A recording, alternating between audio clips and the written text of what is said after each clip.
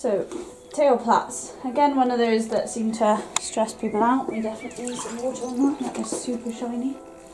So, tend to stress people out. Just practice.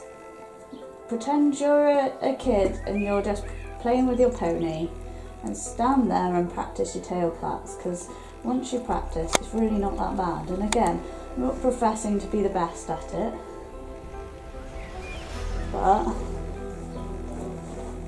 it's just the same as the forelock, hence why I've not done it super slowly. I probably should have, sorry. Exactly the same as the forelock. Make sure you get nice, even pieces from the side. The start is everything. So if you don't start correctly, keep starting until you do.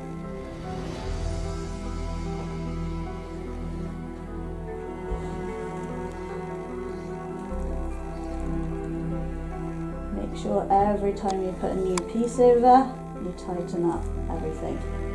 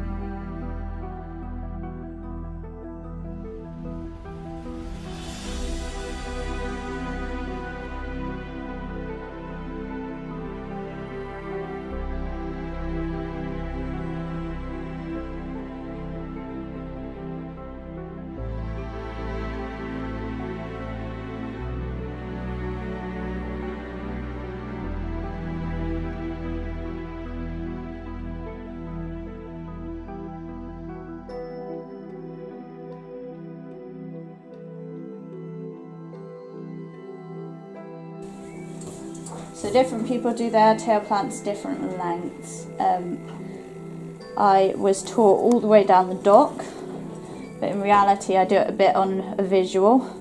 So I like it to have gone over the point of the bum and we'll probably do it to around here. So don't do your tail plait too short because it just looks like you couldn't be bothered.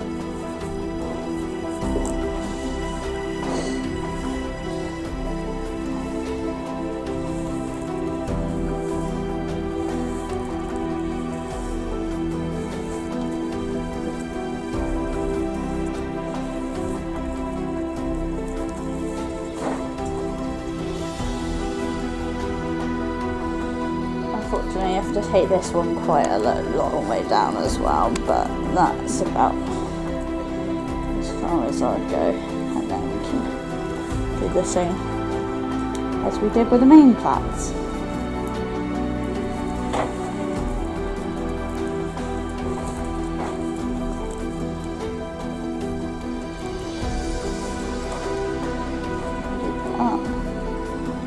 we go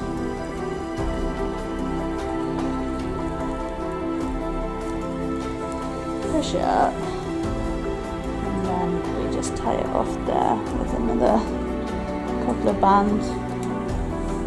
It can be annoying if you've got a really long tail because your band inevitably will break when you try and get this bit through